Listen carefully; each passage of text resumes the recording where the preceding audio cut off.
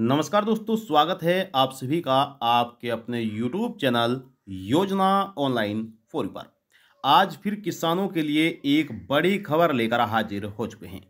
देखिए, जैसे कि हमने आपको पिछली वीडियो में बताया था कि अब किसानों को भू आधार कार्ड बनवाने होंगे, यानी कि अपनी ज़मीन के आधार कार्ड बनवाने होंगे। लेकिन यह भी जानना ज़रूरी हो जाता है कि जो भूमि आधार कार्ड आपका बनाया जा रहा है या फिर आप बनवाने जा रहे हैं, उस भू आधार कार्ड से क्या क्या फ़ायदे आपको मिलने वाले हैं? तो इस वीडियो के माध्यम से हम आपको भू आधार कार्ड से होने वाले पाँच बड़े लाभ के बारे में बताएँगे, जिन्हें आपको जानना चाहिए कि जो आप कार्य कर रहे हैं, आपको उससे फ़ायदा होगा या फिर नुकसान होगा। तो इस वीडियो के माध्यम से आपको तमाम जानकारी दी जाएगी। बस आपसे एक छोटा सा निवेदन है कि अगर आपने अभी तक वीडियो को लाइक नहीं किया तो वीडियो को लाइक कर दीजिए और ज़्यादा से ज़्यादा वीडियो को शेयर भी कर दीजिएगा ताकि और भी किसान भाई यह जानकारी प्राप्त कर सकें कि जो भूमि आधार कार्ड बनाया जा रहा है, उससे क्या लाभ आपको मिल सकते हैं। तो चलिए वीडियो शुरू करते हैं और आपको तमाम जानकारी देते हैं। देखिए, केंद्र सरकार किसानों के लिए एक नया नियम लेकर आई है, जिसके अंतर्गत अब सभी किसानों को अपनी भूमि का, यानी कि अपनी ज़मीन का आधार कार्ड बनवाना होगा। जिस तरह से व्यक्तियों का आधार कार्ड सरकार ने बनवाया है, इसी तरह से भूमि का आधार कार्ड भी बना जाएगा। जिस प्रकार से व्यक्तियों का पूरा बायोडाटा आधार कार्ड में होता है, जैसे कि फिंगरप्रिंट, व्यक्ति का नाम, एड्रेस, कहाँ का रहने वाला है किस ज़िले का रहने वाला है, किस गाँव का रहने वाला है, किस कस्बे का रहने वाला है। इसी तरह से आपकी ज़मीन का भी आधार कार्ड बनाया जाएगा, जिसमें आपकी ज़मीन की कुछ महत्वपूर्ण जानकारी उसमें फिल्ड कराई जाएगी। क्या क्या इसमें आपकी जानकारी फिल्ड कराई जाएगी, उसके बारे में भी हम आपको चलिए बता देते हैं। तो अगर आपने वीडियो को लाइक नहीं किया तो कृपया आपसे निवेदन यही है कि आप अभी वीडियो को लाइक कर दीजिए। इस चैनल के माध्यम से हम आपको तमाम जानकारी सही समय पर, सही सटीक जानकारी देते हैं। योजना ऑनलाइन फॉर यू चैनल को आप अभी सब्सक्राइब कर लीजिए। तो आगे बढ़ते हैं। देखिए, इसमें किसान छोटा हो या फिर किसान बड़ा हो, सभी को इन नियमों का पालन करना है और अपना आधार कार्ड, भू आधार कार्ड बनवाना है। अब देखिए, जो सरकार भू आधार कार्ड बनवा रही है इससे सबसे बड़ा जो फ़ायदा है वह ये है कि जो ज़मीन पर झगड़े होते हैं, वह समाप्त हो जाएँगे, वह काफ़ी कम हो जाएँगे झगड़े होने। ठीक है? अब वहीं आपकी आधार कार्ड जो है, आपको बता दें, जो आधार कार्ड है, उसकी तर्ज पर ही बनने वाले भू आधार में आपके राज्य कोड होगा, वहीं आपके आधार कार्ड में जिला कोड होगा, वहीं आपके कार्ड में उप जिला कोड होगा और वहीं गाँव का कोड होगा।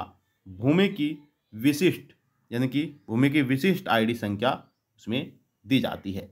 जिस प्रकार से व्यक्ति का, जैसे कि हमने आपको शुरुआत में ही बताया है कि जिस व्यक्ति जिस प्रकार से व्यक्ति का नाम, एड्रेस, मोबाइल नंबर और आपका गाँव का नाम, गाँव का पिन कोड और आपके ज़िले का पिन कोड, इस तरह से जो भी यहाँ पर होता है आधार कार्ड में। इसी प्रकार से आपकी ज़मीन में भी होगा, आपके राज्य का कोड होगा, आपके ज़िले का कोड होगा उप ज़िले का कोड होगा, आपके गाँव का कोड होगा, भूमि की विशिष्ट की आईडी पूरी उसमें दी जाएगी, जिसमें पता चल सकता है कि ज़मीन किस व्यक्ति के नाम पर है, जो ज़मीन किसान बो रहा है, वह ज़मीन किसान की है या फिर नहीं।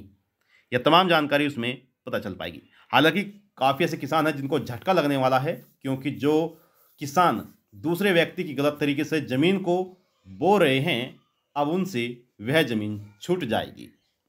वहीं इसमें और भी बड़ा फ़ायदा है, देखिए, आपकी जानकारी के लिए बता दें कि किसानों के लिए भूमि आधार एक वरदान होने वाला है, क्योंकि जो किसान सरकार से ऋण लेना चाहते हैं, लोन लेना चाहते हैं उससे लेने में भी अब आसानी हो जाएगी। किसानों को ऋण लेने के लिए अभी अगर आप ऋण लेते हैं तो कई सारे कागजात को इकट्ठा करना पड़ता है, दफ्तरों के चक्कर भी काटने पड़ते हैं। लेकिन अगर आपके पास भू आधार कार्ड होगा तो आपको ऋण भी मिलने में बहुत आसानी होगी। और भी कई बड़े फ़ायदे हैं। एक एक फ़ायदों के बारे में चलिए जान लेते हैं कि कौन कौन से फ़ायदे आपको मिलने वाले हैं। भू आधार कार्ड के फ़ायदे, ठीक है? भू आधार कार्ड के बेनिफिट्स। तो यहाँ पर जान लीजिए, फ़ायदा नंबर एक ये रहा आपका फ़ायदा नंबर एक। देखिए, भूमि स्तर मानचित्रण और मैप के माध्यम से सटीक भूमि अभिलेख सुनिश्चित करता है। ठीक है? नेक्स्ट लाभ है आपका यहाँ पर। भूखंड पहचान में स्पष्टता दूर होती है, जो अक्सर भूमि विवादों का कारण बनती है। क्या आपकी ज़मीन कहाँ पर है? आपकी ज़मीन यहाँ पर थी? कौन से नक्शे में है? ये ठीक है। तो इस प्रकार से आपकी जो यहाँ पर विवाद होते थे, वह भी समाप्त हो जाएँगे। फ़ायदा नंबर तीन। देखिए, आधार से लिंक करके भूमि अभिलेखों तक ऑनलाइन पहुँच सक्षम होती है। आपकी ज़मीन है, ऑनलाइन हो जाएगी, यानी कि आप ऑनलाइन अपनी ज़मीन को देख सकेंगे कि आपकी कितनी ज़मीन है और कहाँ पर आपकी ज़मीन है, कौन सी खसरे में है, तमाम जानकारी आप अपनी ज़मीन के बारे में ले पाएँगे। वहीं फ़ायदा नंबर चार, देखिए, भूखंड से संबंधित संपूर्ण इतिहास और स्वामित्व विवरण को ट्रैक किया जा सकेगा। आप घर बैठे ही अपनी ऐतिहासिक ज़मीन को देख सकेंगे, किसके नाम कब यह किसके नाम पर थी, तमाम जानकारी आप ऑनलाइन ही देख पाएँगे। ठीक है? अभी तो रहा आपका चौथा नंबर फ़ायदा। अब बात करते हैं नेक्स्ट और लास्ट फ़ायदे की, यानी कि फ़ायदा नंबर पाँच। देखिए, नीति निर्माण के लिए सरकार को सटीक भूमि डाटा मिलता है, ठीक है? तो यहाँ पर सरकार यह ज़बरदस्त तोहफा किसानों को देने जा रही है। जिन किसानों ने भूमि आधार कार्ड नहीं बना है तो वह भी बनवा लें, क्योंकि इससे आपको काफ़ी फ़ायदे मिलने वाले हैं। तो यदि आपके लिए महत्वपूर्ण जानकारी आई हो, आपको जानकारी अच्छी लगी होगी, आपसे हम निवेदन करते हैं कि अगर आपने अभी तक वीडियो को लाइक नहीं किया तो वीडियो को लाइक कर दीजिए। ज़्यादा से ज़्यादा वीडियो को शेयर करेगा। चैनल पर आप पहली बार आए हैं तो चैनल को भी आप ज़रूर सब्सक्राइब कर लीजिएगा। आप चाहते हैं आपसे इजाज़त और मिलते हैं अपने स्टूडियो में। तब तक के लिए जय हिंद, जय भारत। आप अपना जो भूमि आधार कार्ड है, वह ज़रूर बनवा लीजिए